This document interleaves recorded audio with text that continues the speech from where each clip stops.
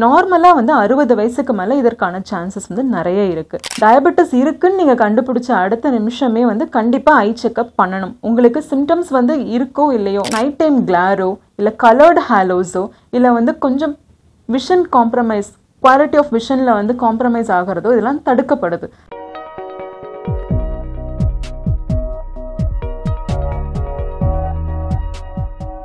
எல்லாருக்கும் வணக்கம். நான் doctor Sukanya. I'm a consultant ophthalmologist in Vision Expert Eye Hospital since ten years age related macular degeneration அந்த பேர்லேயே இருக்கு ஏஜ் ரிலேட்டட் அப்படிங்கிறது. நம்மளோட வயசு ஆக ஆக நம்மளோட நரம்பு வந்து வீக் ஆகிறது. நரம்போட முக்கியமான பொஷன் மேக்குலா மேக்குலால தான் நம்மளோட ஒளிகள் வந்து எல்லாம் சேர்ந்து மூளைக்கு வந்து கனெக்ட் ஆகுது. அந்த இடத்துல வந்து வயசாகிறதுனால வர வீக்னஸ் தான் வந்து நம்ம ஏஜ் ரிலேட்டட் மேக்குலர் டீஜெனரேஷன் அப்படின்னு சொல்லி சொல்லுவோம். நார்மலாக வந்து அறுபது வயசுக்கு மேலே இதற்கான சான்சஸ் வந்து நிறைய இருக்குது ஸோ எப்பயுமே நம்ம வந்து இயர்லி ஆஃப்தால் செக்அப் வந்து கண்டிப்பாக அறுபது வயசுக்கு மேற்பட்டவர்கள் வந்து நம்ம கண்டிப்பாக பண்ணிக்கணும்.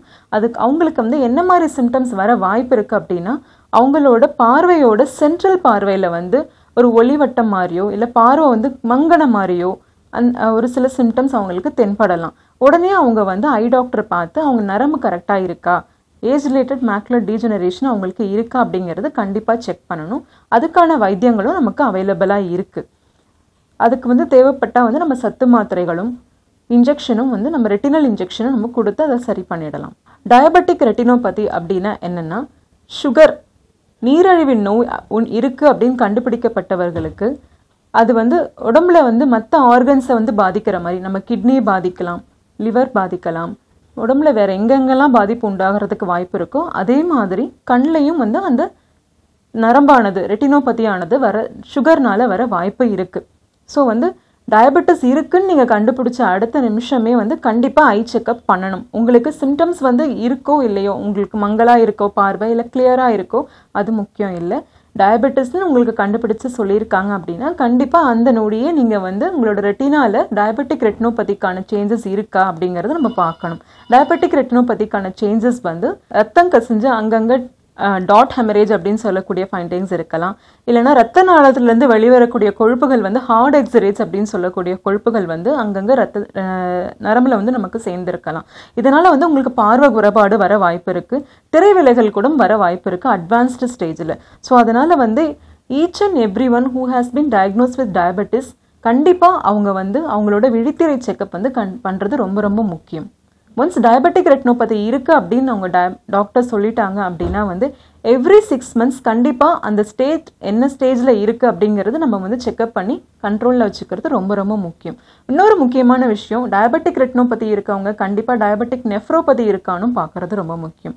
நெஃப்ரோபதி இருக்கவங்க கண்டிப்பாக ரெட்டினோபதி இருக்கானும் பார்க்குறது ரொம்ப முக்கியம். ஏன்னா ரெட்டினோபதி அண்ட் நெஃப்ரோபதி ரெண்டுமே சைமல்டேனியஸாக நடக்க வாய்ப்பு இருக்குது நிறைய சான்சஸும் இருக்குது அதனால் எப்பயுமே ஸ்ட்ரிக்டாக சுகர் கண்ட்ரோலில் வச்சுக்கோங்க. அதுக்கான வைத்திய முறைகளும் நிறையா இருக்குது லேசர் ட்ரீட்மெண்ட் அவைலபிளாக இருக்குது ரெட்டினல் இன்ஜெக்ஷன்ஸ் அவைலபிளாக இருக்குது அதை தாண்டி அட்வான்ஸ் ஸ்டேஜில் ரெட்டினல் திரை விலகல் நோய்கள் வரப்போ வந்து அதுக்கான கீஹோல் சர்ஜரிஸும் நம் அட்வான்ஸ்மெண்ட்ஸில் இருக்குது ஸோ அதனால் வந்து சுகர் இருக்கவங்க எல்லாரும் இயர்லி செக்கப் கண்டிப்பாக பண்ணிக்கணும். லாசிக் சர்ஜரி அப்படின்னா என்னென்னா நம்மளோட கண் பவர் மைனஸ் பவராக இருக்கலாம் ப்ளஸ் பவராக இருக்கலாம் சிலிண்டர் பவராக இருக்கலாம். அதை வந்து லேசர் மூலமாக நம்ம வந்து சரி பண்ணுறது தான் வந்து கருவிழியில் சரி பண்ணுறது தான் வந்து லாசிக் சர்ஜரி அப்படின்னு சொல்லி சொல்லுவோம். பொதுவாகவே லாசிக் சர்ஜரி அப்படின்னா வந்து ஒரு ஒம்பது மில்லிமீட்டருக்கோ இல்லை எட்டு மில்லிமீட்டருக்கோ ஒரு கருவிழியில் வந்து ஒரு ஃப்ளாப்பை ரைஸ் பண்ணிவிட்டு லேசர் வச்சு அதை கரெக்ட் பண்ணிட்டு திரும்ப அந்த ஃப்ளாப் வச்சு மூடிடுவோம். அதுதான் வந்து நார்மலாக ரொட்டீனாக பண்ணுற லாசிக் சர்ஜரி அப்படிங்கிறது. ஜயோப்டிக்ஸ் லாசிக்கில் என்ன ப்ரா என்ன வருது அப்படின்னா வந்து அதில் என்ன அட்வான்ஸ்மெண்ட்ஸ் அப்படின்னு நம்ம சொல்ல போனோம் அப்படின்னா லாசிக் சர்ஜரியில் கன்வென்ஷனல் லாசிக் சர்ஜரியில் நம்ம வந்து மைனஸ் பவர் ப்ளஸ் பவர் இல்லைனா சிலிண்டர் பவரை நம்ம கரெக்ட் பண்ணுறோம் இந்த ஜயோப்டிக்ஸில் வந்து இதெல்லாம் வந்து minus and plus power and cylinder பவர்லாம் வந்து லோயர் ஆர்டர் அபரேஷன் அப்படின்ற கேட்டகரிக்குள்ளே வருது.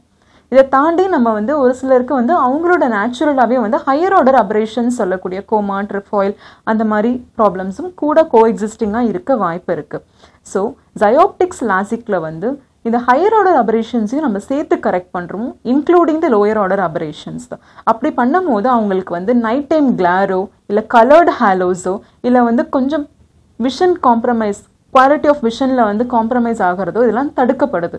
So Zyoptix LASIKs is an advanced form of LASIK surgery that corrects both your lower order aberrations and higher order aberration SILK eye surgery அப்படிங்கிறது என்னென்னா நம்ம வந்து corneal flap ரொட்டீனாக classic சதியில் நான் சொன்ன மாதிரி வந்து கார்னியல் ஃப்ளாப்பே ரைஸ் பண்ணாமல் ஒரு டூ டு த்ரீ மில்லிமீட்டர் இன்செஷனில் கார்னியல் லென்டிக்குல் அப்படின்னு சொல்லி லேசர் மூலமாக அந்த லென்டிக்குலை வந்து ரிமூவ் பண்ணிவிட்டு பவரை கரெக்ட் பண்ணுறதுக்கான ப்ரொசீஜர் தான் சில்க் அப்படின்னு சொல்லுவோம். இதில் வந்து ரொம்ப கம்மியான எனர்ஜி தான் யூஸ் ஆகுது. இதனால் வர ட்ரைனஸோ இல்லை வந்து மற்ற நான் சொன்ன மாதிரி ஹையர் ஆர்டர் அபரேஷன்ஸ்னால வர இஷ்யூஸோ வந்து கண்டிப்பாக இதில் வராது. It's a more advanced procedure